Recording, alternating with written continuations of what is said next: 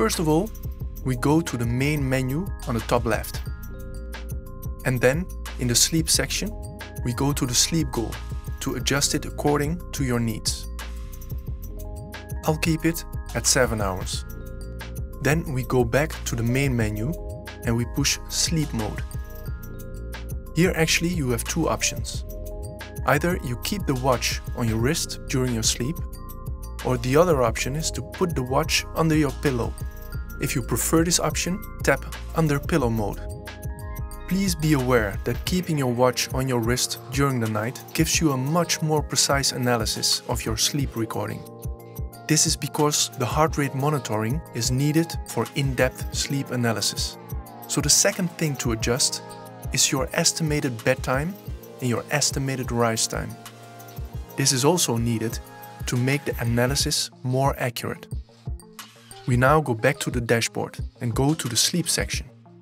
We can see here the analysis of the sleep and that I reached 72%. If we tap on this graph, we can see everything much more into detail.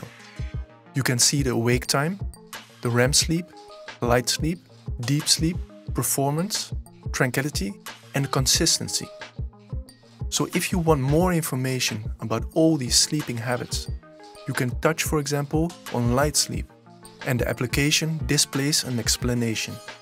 If we scroll down a little bit more, you can see trends here you can find the average sleep duration along the week, also the average schedule and the average performance of your sleep.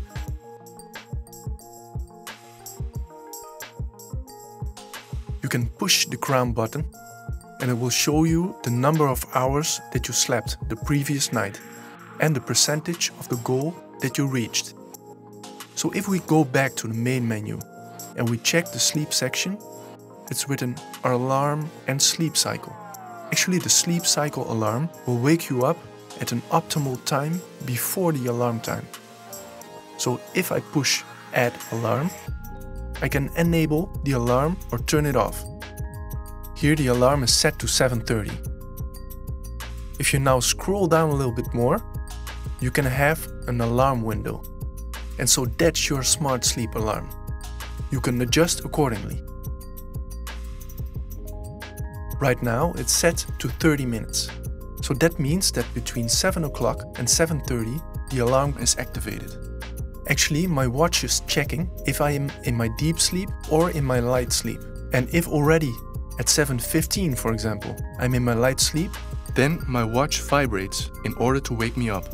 You can add up to 8 alarms and enable and disable the alarm during the weekend for example. You can also check out the alarm function on the watch.